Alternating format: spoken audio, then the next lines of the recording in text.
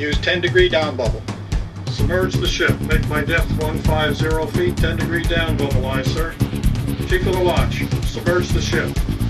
Submerge the ship, aye, sir. All vents are open, sir.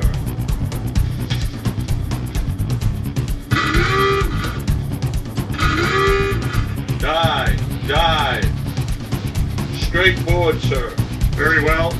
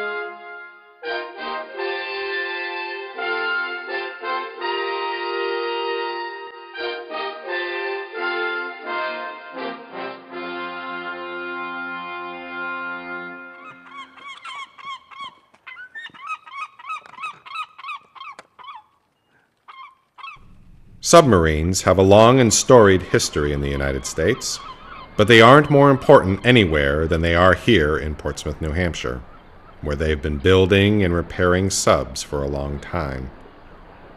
This is the Albacore. It has a history intertwined with the Thresher. Around here, submarines are a way of life. When the Navy wanted the newest, fastest, deepest diving boat they could get, they came to the Portsmouth Naval Shipyard. But back then, it looked a little different.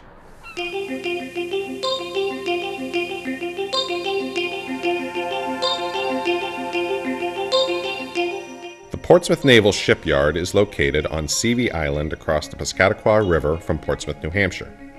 Its history harkens back to the beginning of our country. During World War II, the shipyard launched four submarines in one day, a record that still stands.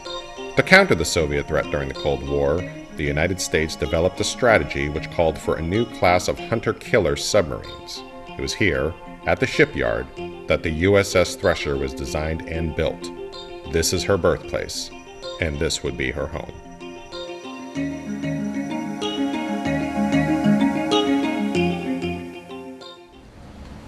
Well, the hull shape, which was pioneered with the Albacore, was that shape which was developed in wind tunnel tests and everything, which would travel totally submerged through the water with the least resistance.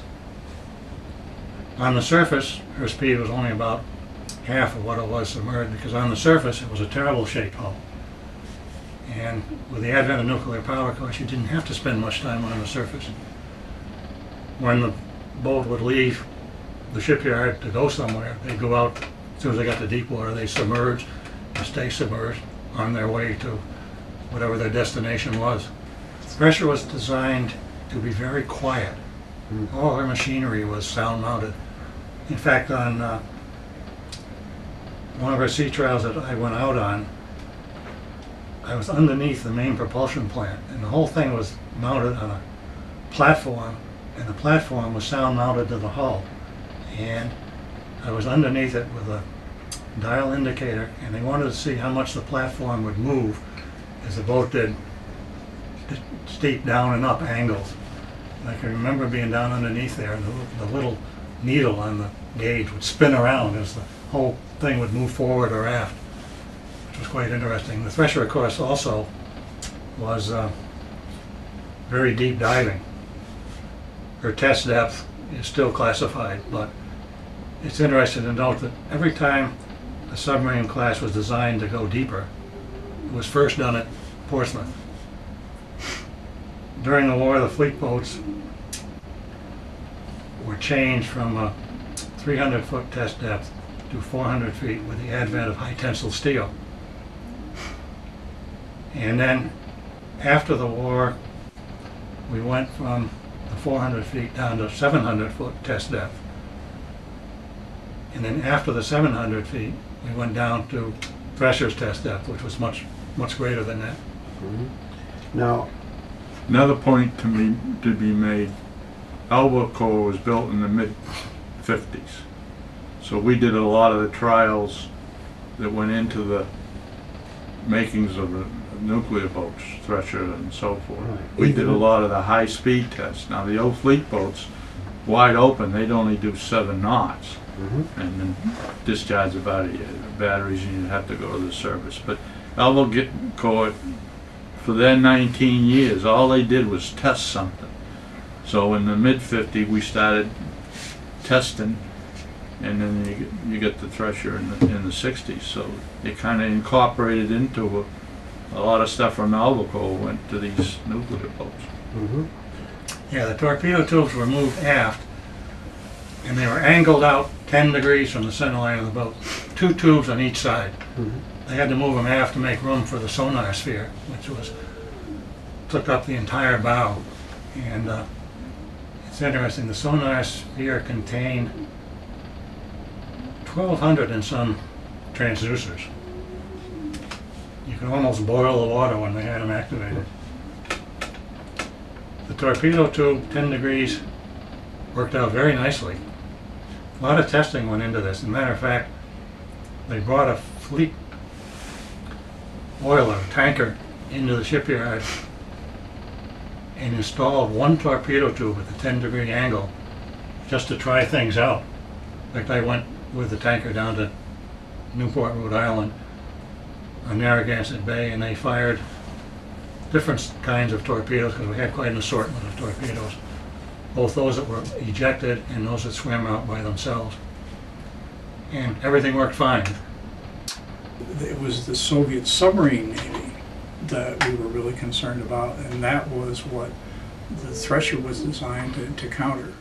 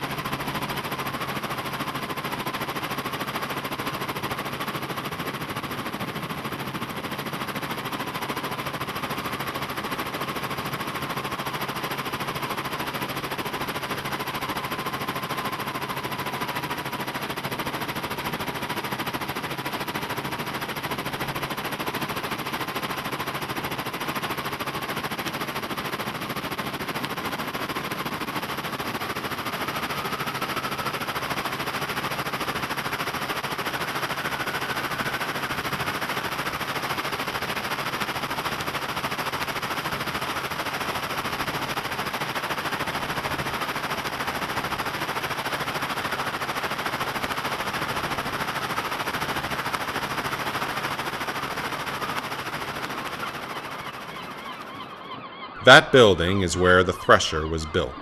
It was launched bow first to protect the sonar dome.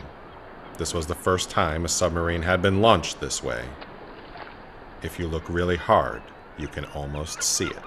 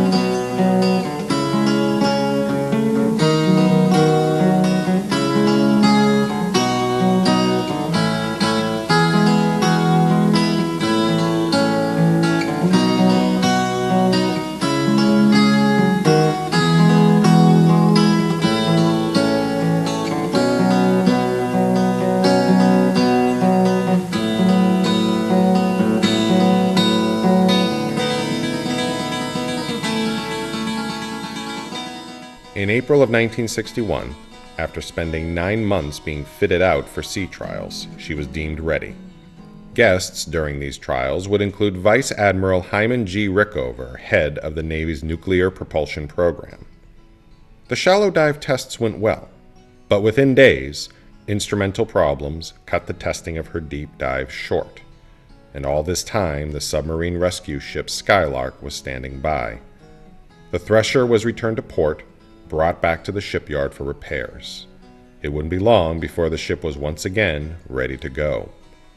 The USS Thresher was commissioned on August 3, 1961, to become the newest member of the Atlantic Submarine Fleet.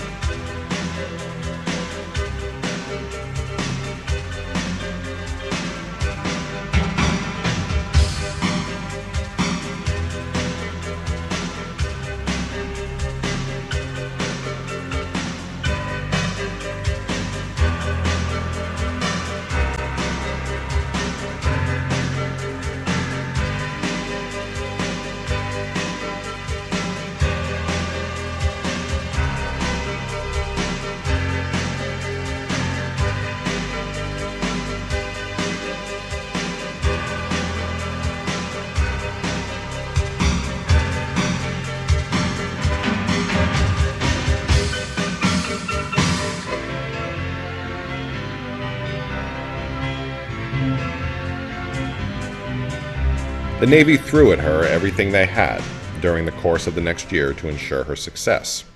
She would spend time basking in the seas of the Bahamas and Puerto Rico as she was put through her paces. Connecticut was her weapons base as she was outfitted for torpedoes. And the coast along Massachusetts and Connecticut was her test field for war games. When the ship and crew finally got a reprieve, they would return to Portsmouth and the familiar ground of home. As the months passed, testing continued. Up and down the coastline, again and again, test after test. It became extremely clear the Thresher was a thoroughbred. She could take anything a test could dish out and stand strong. The next step was a trip to Fort Lauderdale to test her fit for SUBROC missiles. The SUBROC was was a, uh, a rocket uh, with a nuclear warhead, and it was designed uh, fired into what they call the second or third convergence zone. Uh, what happens with sound in the water is that some sound will uh, some sound will kind of undulate and uh, it will focus. Uh, I think 30, 30 miles is the first convergence zone, 60 miles is the second. Uh, if you're deep enough, you can um, you can find those things and track things uh, which was what the uh, uh, Thresher's sonar system was designed to do.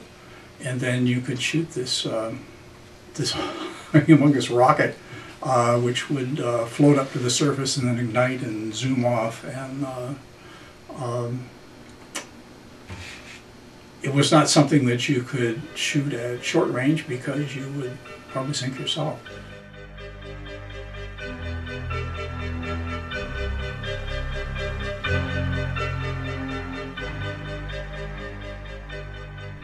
The assessment of the ship clocked in at a year, testing not only the submarine but her crew as well.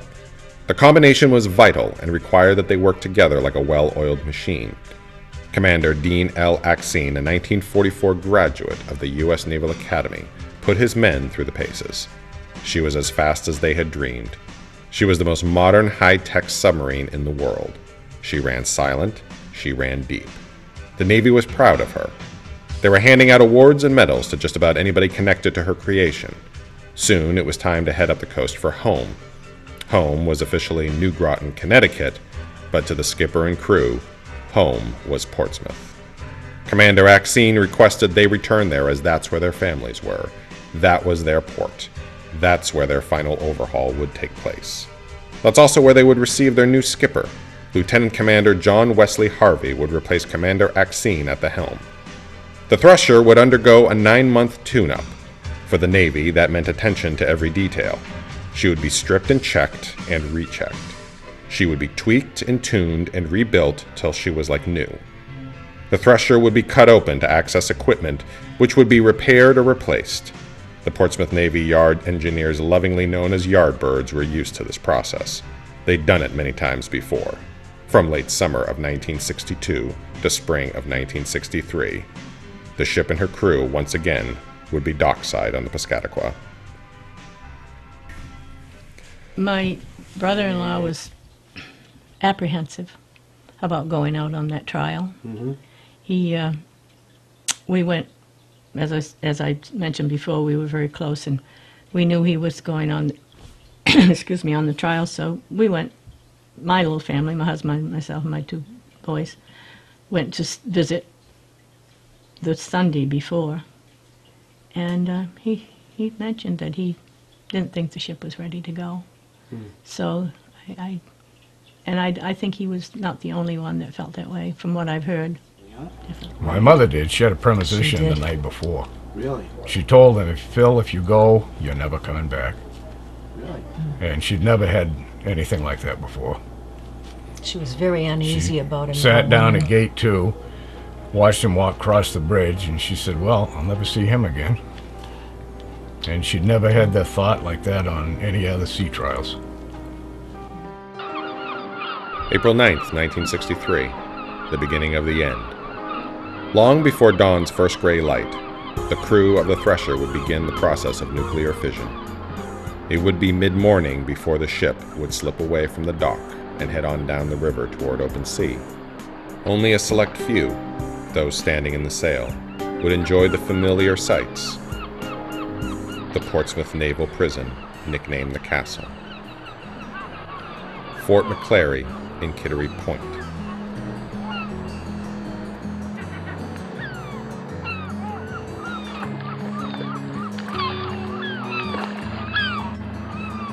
Fort Point Lighthouse. Whaleback.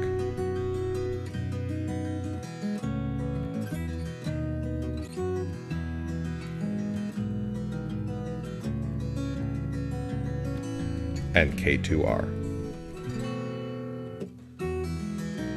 The crew, encased in her hull, would not see the Isles of Shoals slipping past as they made their way into the Atlantic Ocean. They were bearing the tasks of sailors, just as men throughout history and men who will follow have done, plying the oceans in the search for advancement and national security. Man and machine, the crew and civilians aboard each had their assignments, their job responsibility.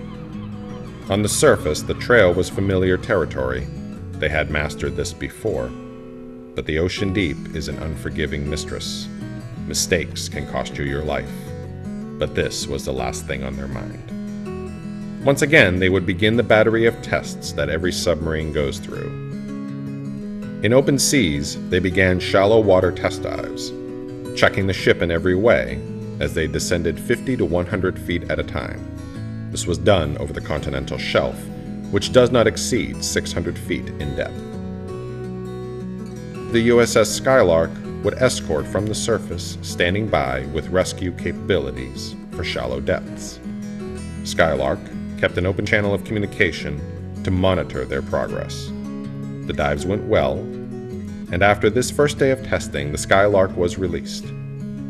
The two ships would steam all night and rendezvous 220 miles east of Cape Cod, well past the continental shelf, well past any immediate port of safe harbor.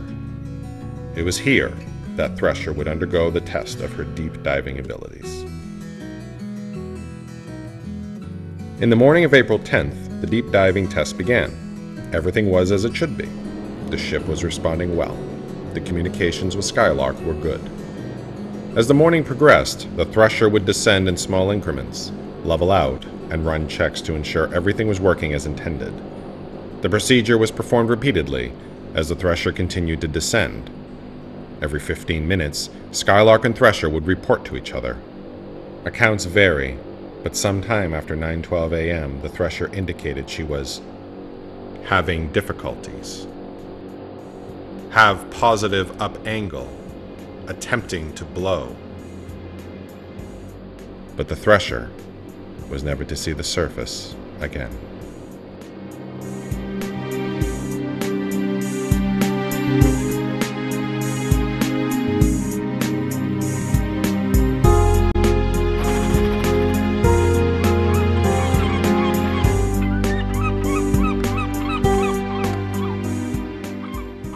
Topsides, the Skylark grew increasingly unsure. They attempted to contact the Thresher repeatedly. Do you have control?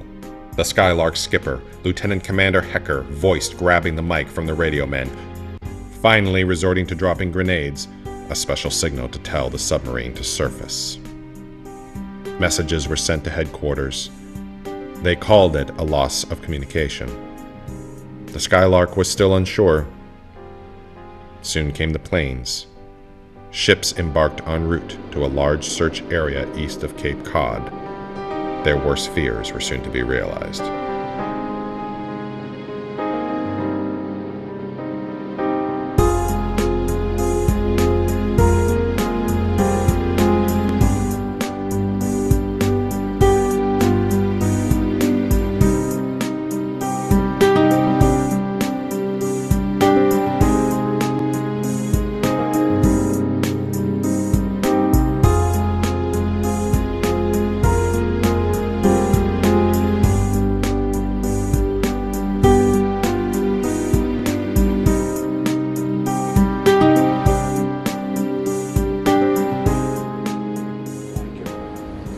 Nearing test depth, as I understand it, and a four-inch silver braze pipe fitting in the auxiliary machinery space, which was just aft of the reactor compartment, failed.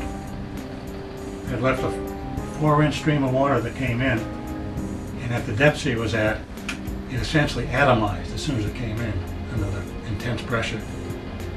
And what happened is it shorted out a lot of electrical stuff. One thing was the reactor compartment. It shut, reactor plant shut down, so they lost propulsion power. And when that happened, they were essentially helpless. And the uh, seawater accumulated so fast, and it ran aft. So in my opinion, she took a down angle aft and went down vertically. And uh, when she reached over crush depth, the stern crushed in. I screened most all the photographs they took of the Thresher res- wreck- wreckage myself, and the stern section was crushed in. That would have let the water in. Then you had a water hammer, which then would have traveled right up the length of the hull to the bow, and it blew the bow right off. We have a picture of the bow just sitting there on the bottom, wide open. But they're still arguing. Uh, there was, I read some, an article uh, no more than a month ago about exactly, exactly what did let go initially. And there's some thought that, some thought that it was not, initially it was not a big, a, a big pipe that let go, but something in the auxiliary machinery space, as, as, as, as uh, Russ said, um, that sprayed water into the reactor control uh, mechanisms. And the doctrine at that time was that if you had a problem, uh, you shut the main steam stops coming out of the reactor plant to conserve as much heat in the reactor as you could to get it restarted because the reactor has to be at temperature and pressure before you can start nuclear operations. So when the main steam stops shut, there was no way to get heat into the into the main turbines. They changed that. Uh, they don't doesn't that doesn't happen automatically after a Thresher. And the other thing that some have said critically is that on that trial, the Thresher went down too fast they made, they didn't make enough intermediate stops. The practice, I, I remember the practice was you went down hundred feet at a time, or if, depending on what you had, maybe just fifty feet at a time. You di you decrease your depth, uh, steady out at a depth, then everybody would check all the compartments and report back, and when you were satisfied, then you dip down another little bit until you got down. By going down rapidly like that, they may not have um, compensated for the density of the submarine adequately. Because when you're operating normally, you like the submarine to be just a little bit light, if, if, if anything, so, so that you would tend to, to rise up. But at those pressures, the hull does get smaller and denser, and your practice should be to pump water out of your, uh, your trim tanks to compensate for that. If they hadn't done that, uh, when they had the reactor scram and a whole lot of running around, and the boat was kept on sinking to the point where, you know, You would have been heavier There- there was instead a- of lighter. nothing you could do about it. So, but we'll never know, I don't think. Uh, They, they did have a sound recording. Mhm. We had a uh, network of, what, a SOSUS, mhm. where there were hydrophones all along the eastern seaboard and kind of swung across past Iceland. So the threshers noises that it made when it was being, when it was lost were recorded. And I remember uh, Captain Harry Jackson probably knew more about submarine business anyway than Yeah. in the country. Uh, They were able to analyze the noises, and I think he was the one that uh, determined the exact pipe fitting that had failed. On April 10th, I was walking through the Shop 38 work area, taking a shortcut to my office. And I went by the supervisor's office, and I saw one person in there, and I went in and I says, Frankie Palmer, what are you doing here today? He says, I'm going on the Thresher sea trials. I said, good luck. He said, thank you. That night, on the 10th, about midnight or one o'clock, I got a call from Bill Poor, who was my boss, group supervisor, both 38 and 56. He says, We need you immediately in the shipyard. We have an emergency. So I went in the shipyard, and they told me that I would be a civilian casualty officer to go out and visit next to kin. And they said, if you wish to, you can take someone with you. So I called fellow by the name of Franklin Stoney Jackson and woke him up. And he made a trip to go to Durham with me, where we visit the next of kin, Mrs. Palmer. And it was located on Route 8 in, New, in uh, Durham. And here it is, 12, 1 o'clock in the morning, trying to find a house like that. And we talked on the way up, Stony and I did. We'd probably have to end up in the police station. Well, as it was, we started going south on, on uh, 108, and there was one house with lights on. So I went up to the door and knocked on the door. It was Mrs. Palmer. She was watching tea with a friend, TV with a friend. So she invited us in. We identified ourselves. And I told her I was there because they assumed, presumed that the Thresher had, had perished with the crew aboard, including her husband, Franklin. She didn't seem to get through on her with that. And she said she knew her husband went on sea trials a lot. On occasion, they got fog bound and couldn't come in that day and would come in the next day. And this is what she thought. I said, No, Mrs. Palmer. The Thresher has gone and Frankie has perished with the rest of them. And she sat down and she was in shock.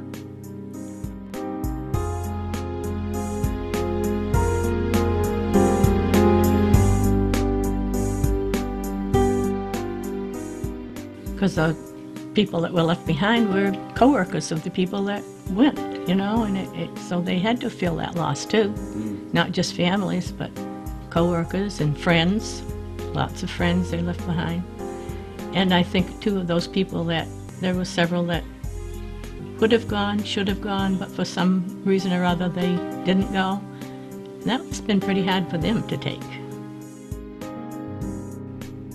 The Bathyscaphe Trieste was brought to Boston from San Diego and then towed to the search site by the USS Preserver. The Navy needed a vessel that could go to the tremendous depths where they thought the Thresher had sunk. The Trieste had once dived to the bottom of the Marianas Trench, the deepest spot in the ocean. The Trieste was a large tank filled with gasoline, which is lighter than water, having a gondola underneath that would hold passage for two or three plus equipment. The Navy had searched by towing cameras on long lines. They hoped to find enough debris in the water for the Trieste to have a starting place for the search. The task of locating the Thresher would continue throughout the summer.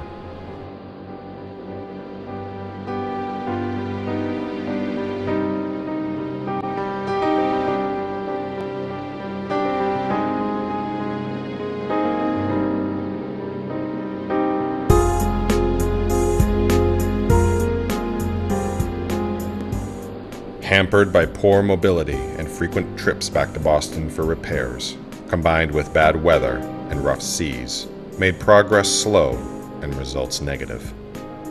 Fall was on its way with winter fast behind. Soon Mother Nature would force the operation to cease. At the end of August, they found Thresher at peace on the ocean's floor.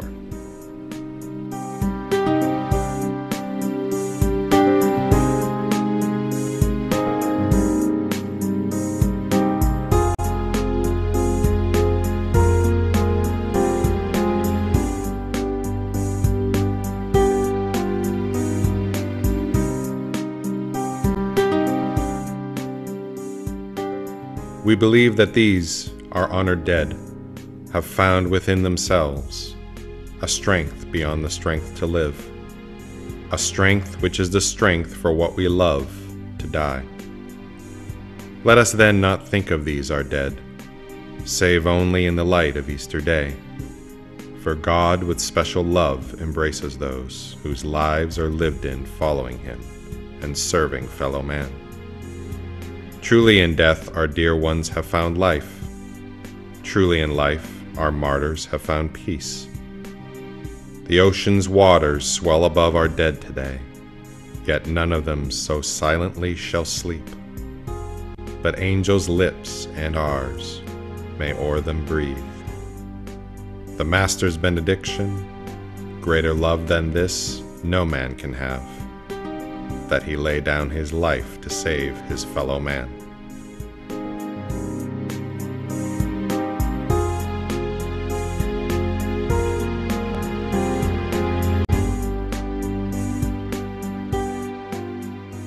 My brother in law was a very intelligent young man, and he worked hard to get his um, engineering degree. He had his four children at the time that he was working to get his degree. So you can imagine trying to pay for school and support his family too. And then I think the irony of the thing that's hard, really hard to take is the fact that he only worked two years after working so hard. And he got the job on the yard and worked two years and then was gone. So, you know, that it's just one of those things you think about. He was a good man. An intensive review of every aspect related to the design of a submarine. Think, what could you do to make it safer? The emergency ba- ballast tank blow was one. Uh, eliminating large brazed pipe joints and replacing them with welded joints uh, was another. An emergency control system where you had a hydraulic accumulator, which the Albacore has, just sitting there fully charged in case something happened to your uh, control system that you could use to operate your planes. Uh, I can still remember the 20 December 1963 letter that came out of NAV ships was itemized all the sub-safe items. Uh, that then became the full-fledged sub-safe program. Sub-safe program. That's when it started. After Thresher went down, the sub-safe, more careful. It, you hate to say it, but the sub-safe program, you lost Thresher, but you might have saved lives later on. that on April 10th, 1963, there were 129 heroes because what the Thresher meant to the submarine service after the fact was we have not lost any submarines since then. And we gained so much knowledge and experience in things to and not to do from the sinking of the Thresher um, for future um, submarine, for the building of future submarine, that I look at it like that. Of course, we all miss him and everything, but he was a hero and he really made things a lot better and all of the Thresher members were the founders of the subsafe program still today that the Navy uses to keep the boats and the men safe. Like he said, the submarine force has come a long way since then, uh, with uh, Thresher Base putting on a memorial each year the way they do. uh, You know, uh, not forgotten, uh, which is very important, I think. Uh, I think a lot of the younger generations today,